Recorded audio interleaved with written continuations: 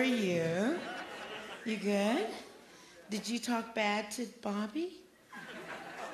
You did? Do you want to talk bad to me?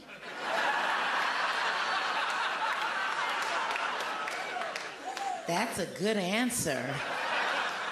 Because I will fuck your monkey ass up.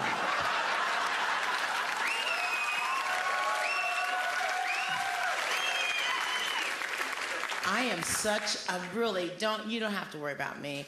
I, you know, I'm just a simple woman. I have four children and everything, and I don't like any of those fuckers. and uh, I just want you to know I'm just a regular, plain old woman that just likes to tell jokes, and uh, I'm just kind of tired, and because uh, I started my period. And, and if I could kill three or four men right now, I sure would feel better about myself. I am so sick of television acting like being on your period is some romantic voyage. Ain't no bitch riding no horse when she start her period. Ain't no bitch swimming in the Caribbean when she start her period. You know blood attracts sharks. She ain't got no business being in the water. Why you wanna fuck up everybody else vacation? You want to show me some real shit? Show me a woman in the bed with a heating pad, some hot tea, and a joint. Show me that motherfucker. You want to show me some real shit? Show me a man sitting in the car with his three kids talking about, we got to stay at the motel because mama tripping.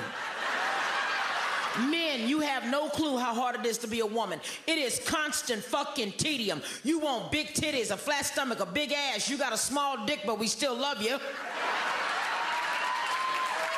How you thin bitches doing? You all right? What you been doing? Throwing up and shit? I read the magazines. I know you're bulimic and anorexic. Your little thin ass is better eat, because a big woman like me, I'll take your man from you. Because after he fuck, he gonna need to eat. Anybody can suck your dick, but can you fry chicken? That's what I'm talking about.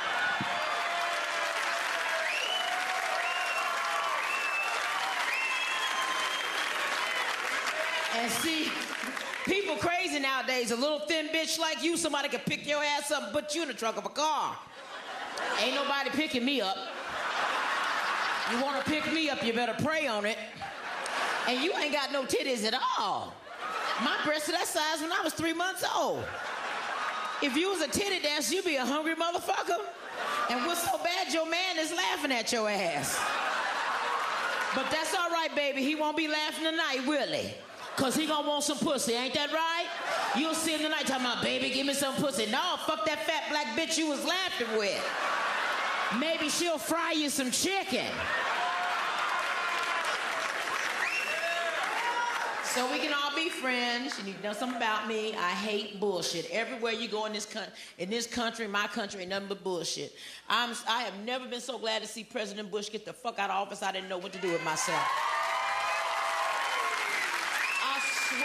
Oh my God, he's so. Uh, I, I, used he used to piss me off because he'd be walking around with a briefcase, and it just pissed me off because I knew nothing was in there but a coloring book and a sippy cup.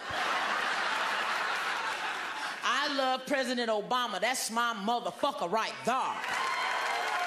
I love President Obama because he handled that pirate shit right off the bat. He handled that right. He was in his office eating lunch.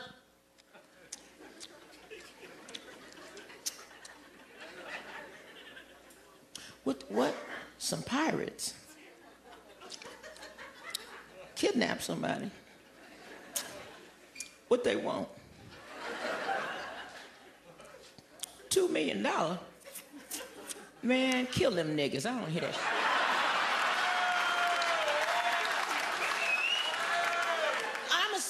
men need to stop lying about the size of your dick and how you gonna fuck up some pussy and you know what to do with the pussy and all. You don't know shit. Some of you men in here know you got small dicks. Be honest.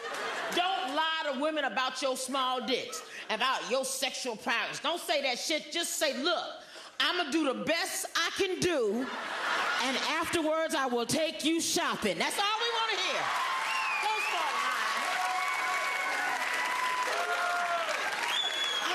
Small dick motherfucker all up in my face.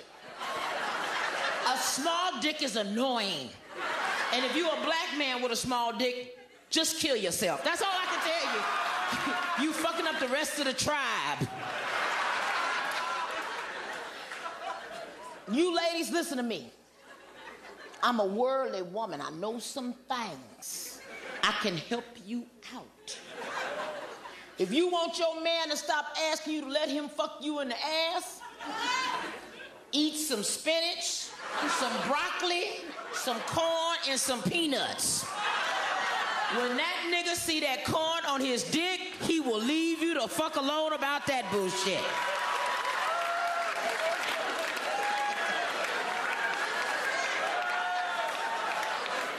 I'm just telling you what I know. It is the nasty show. I can say what the fuck I want to say. Some of you men in here, you so silly, you don't even know how to turn a woman on. You don't, you're just lazy. You are. You are. You just are. First of all, let's talk about fingering people. When you want to finger a woman, you must clean your nails and clip them.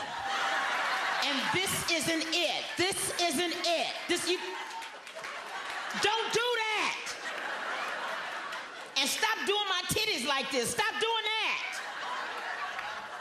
And don't put your dick in between my titties. What the fuck is this doing for me?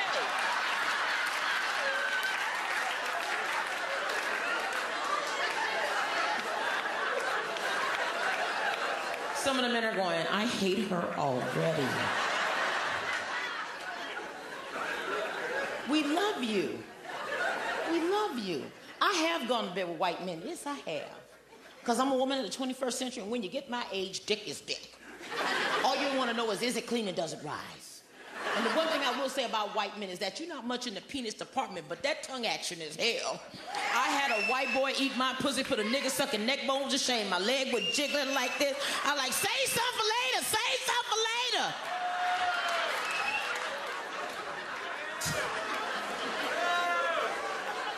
I'm gonna tell you something else. Some of you men do not understand women. So I'm going to help you because I am a kind and loving woman. First of all, men, women respond to power. We like it when you're masterful and masculine. Don't no woman want no weak ass, soft ass, bitch ass man. Women want men like John Wayne. Women want men like Denzel Washington in training day.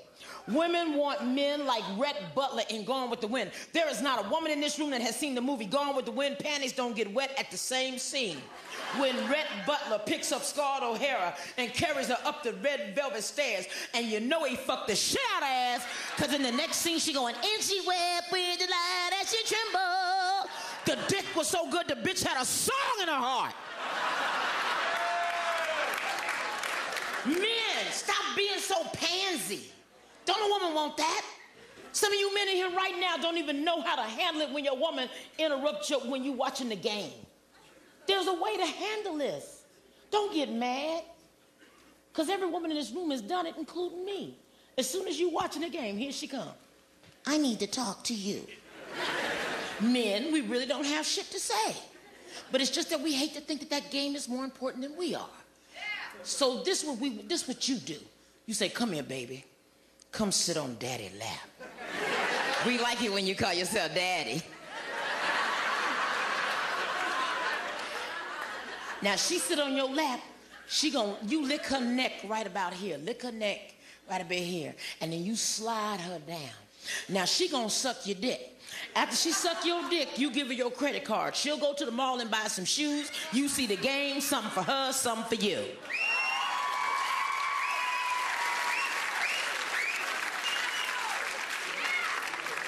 Now, now, ladies, ladies, I'm not gonna just fuss at the men. You got a part in this too.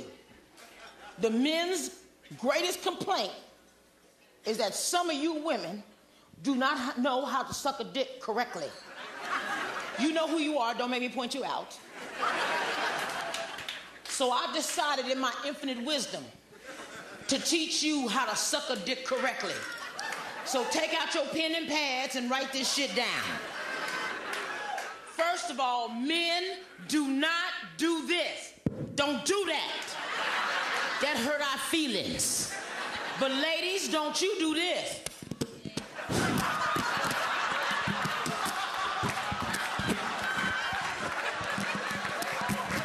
Don't do that. That hurt their feelings.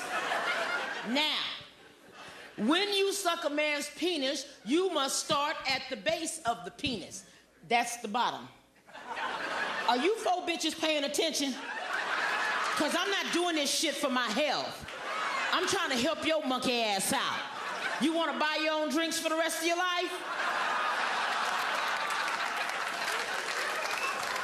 At the base of the penis. Are you ready?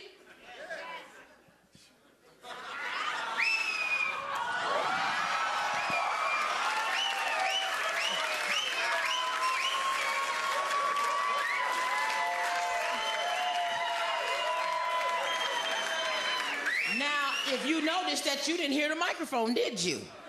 That's because I suck dick like Jordan shoot hoop, nothing but net. For all you women that got a damn good man, every morning before your damn good man go to work, I want you to suck his dick. I'm gonna tell you why. A man whose dick is sucked well before he go to work is inspired, rejuvenated. He's hopeful. He's even nice to that neighbor he can't stand. Hey, Bob, got my dick sucked. You don't know nothing about that. Not to mention it cuts down on road rage. So, ladies, this is my mantra to you: suck a dick, save a life. Thank you for. Thank you for letting me be myself, y'all. Thank you.